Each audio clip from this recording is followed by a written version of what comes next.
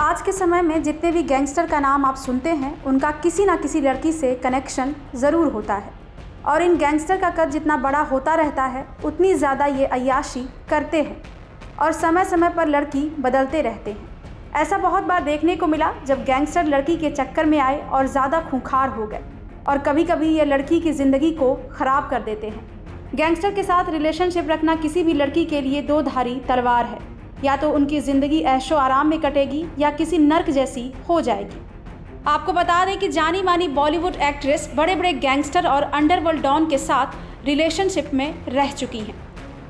आज हम आपको ऐसी पाँच एक्ट्रेस के बारे में बताने वाले हैं। इस लिस्ट में पहले नंबर पर है हीरोइन मोनिका बेदी। मोनिका ने बड़े पर्दे पर कई बड़े सितारों के साथ काम किया है। हालाँकि वो ज़्यादा सुर्खियों में निजी जीवन को लेकर रही। मोनिका बेदी का रिश्ता अंडरवर्ल्ड डॉन अबू सलेम के साथ रहा। अबू सलेम ने तो ये तक दावा किया कि उनकी शादी मोनिका से हो चुकी है, लेकिन मोनिका ने इस रिश्ते को कभी भी स्वीकारा नहीं। इस रिश्ते की वजह से मोनिका बेदी को जेल में भी कई साल गुजारने पड़े। दूसरी हीरोइन जिसके बारे में हम बात करने वाले हैं, वो बॉलीवुड दुनिया में अपने दौर की सबसे खूबसूरत अभिनेत्रियों में से एक रही। मंदाकिनी को सबसे ज़्यादा दो चीज़ों के लिए याद किया जाता है।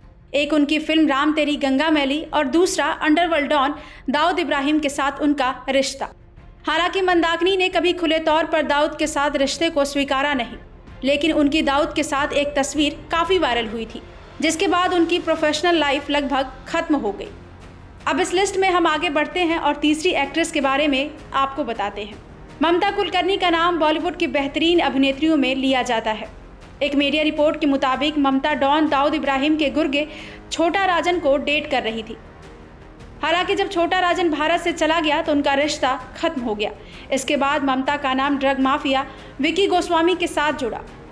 इस सूची में चौथी हीरोइन सोना है। इनको अभिनेत्री मधुबाला की हम शक्ल भी कहा जाता था। आपको बता दें, सोना के बारे में कहा जाता है कि हाजी मस्तान उनकी खूबसूरती पर मर मिटा। हाजी मस्तान और एक्ट्रेस सोना के रिश्ते की खूब चर्चा हुई। सोना और हाजी ने शादी भी की।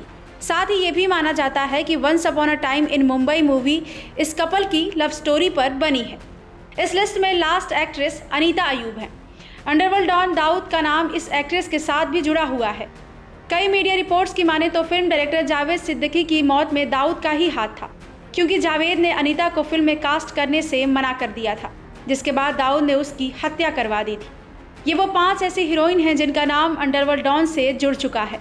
आपको बता दें कि ये सब मीडिया रिपोर्ट्स के मुताबिक हैं। क्राइम तक इसकी पुष्टि नहीं करता है। ब्यूरो रिपोर्ट, क्राइम तक।